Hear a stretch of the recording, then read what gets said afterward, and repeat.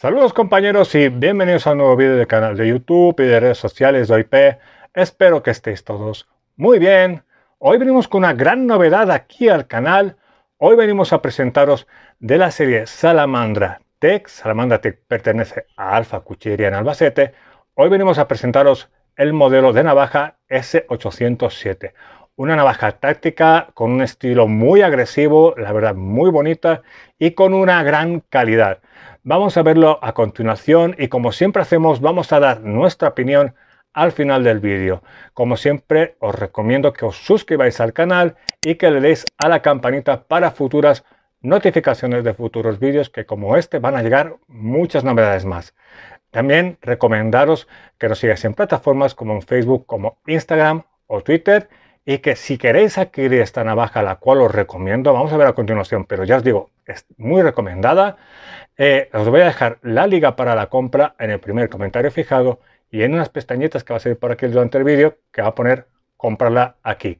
Vamos a ver esta S807 de Salamandra Tech. La verdad, como os digo, eh, es impresionante, ha tenido mucho éxito y la verdad que no hay un vídeo en la plataforma de YouTube, la cual en lo personal me ha sorprendido. Pero vamos a ser de los primeros en poner este modelo aquí en esta plataforma.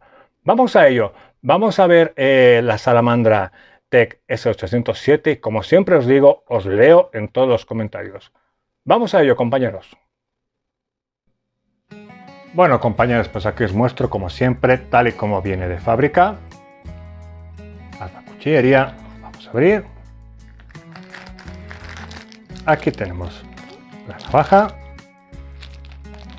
Con un, viene con un estuche cajita acolchada, la cual está muy bien. Vamos a dejarla por un lado.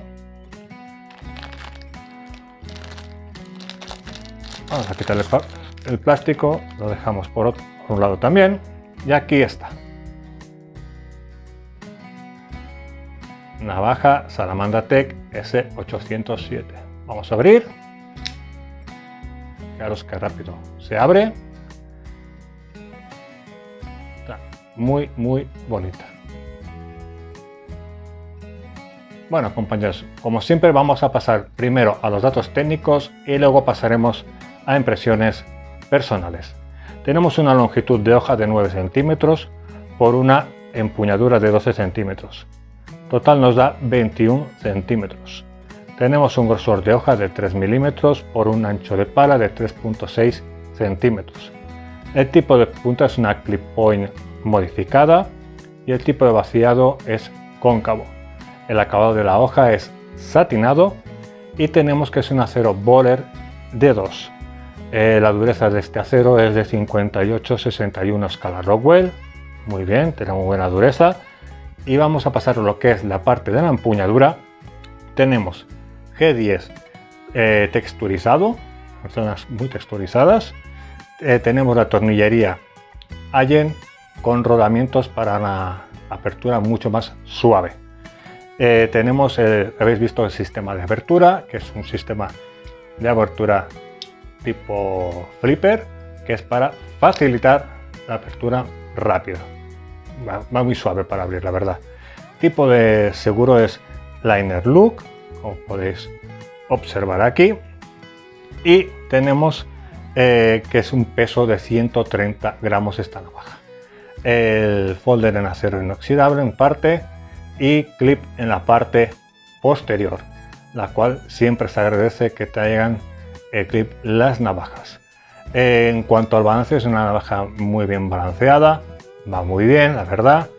Y la, pues, la verdad es que en global esta navaja, a la opinión personal, vamos a ir a la opinión personal, esta navaja se me hace eh, a nivel general muy, muy buena.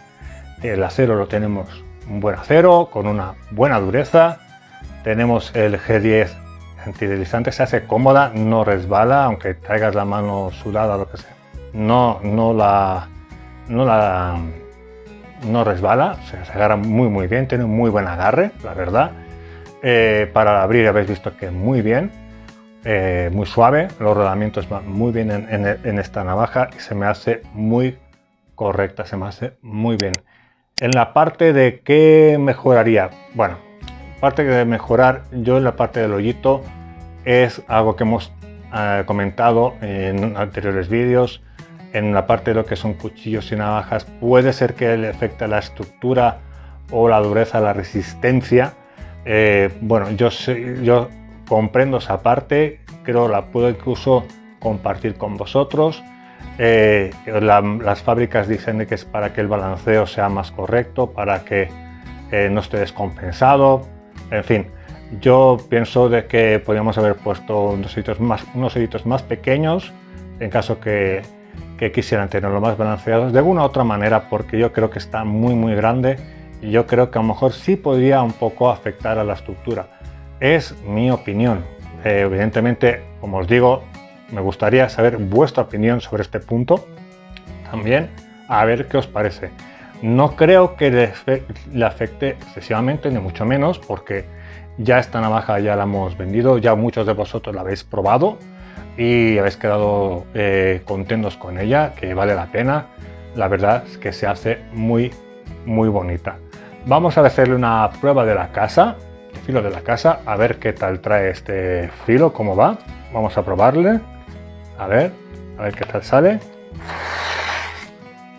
Trae muy, muy buen filo. Muy, muy buen filo, compañeros. La verdad es que vale la pena esta, yo creo, esta navajita. Eh, nada más, eh, pues que poder añadiros más, no hay mucho más que os pueda añadir en cuanto a mejoras Mm, yo tengo una mano un poco grande, fijaos que me va perfectísimamente. 9 centímetros de hoja se me hace muy bien, muy bien para, nuestra, para un EDC, porque necesitamos hacerle. La verdad es que vale mucho la pena. Bueno compañeros, espero que os haya gustado este vídeo de la Salamandra Tech S807. Como siempre os digo, os voy a dejar la liga para la compra en el primer comentario fijado y en las pestañitas que va a salir por aquí que pone cómpralo aquí. Espero que os haya gustado, compañeros, que le deis un buen like, que le deis una buena suscripción y nos vemos en el siguiente vídeo. Hasta la próxima.